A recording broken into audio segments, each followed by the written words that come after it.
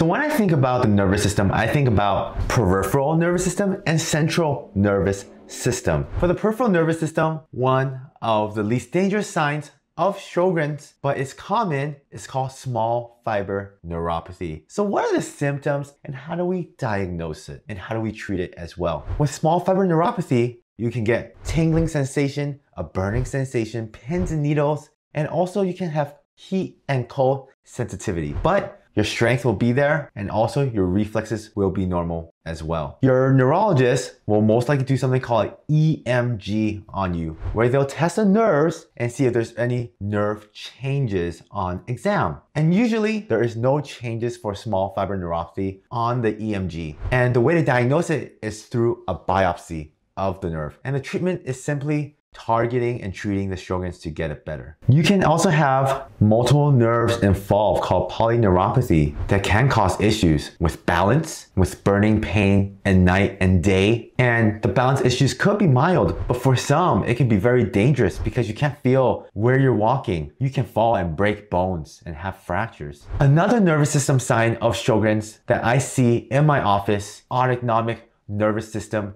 dysfunction. Your autonomic nervous system comes from the brain and controls the rest of the body. Controls how fast your heart rate is, your GI tract, whether you digest and how fast you digest, and it also controls your temperature regulation and also sweating as well. And when you have a nervous system involvement of the autonomic nervous system, you can sweat at random times, feel cold when it's hot, you can feel hot when it's cold, you can have a heart rate issue, and you can have something called dysautonomia or POTS, where when you stand up or even when you're lying down, you can get a very fast heart rate and that can be very, very uncomfortable. And I've seen patients have a lot of constipation from the autonomic nervous system dysfunction because the GI tract simply isn't moving the food. And patients, I've seen them pass out as well. Now let's talk about the most dangerous type of nervous system involvement of the peripheral nervous system, and that's called mononeuritis multiplex. And I've seen it in some patients, not in Sjogren's, but seen it in other autoimmune diseases because you can get sudden pain and also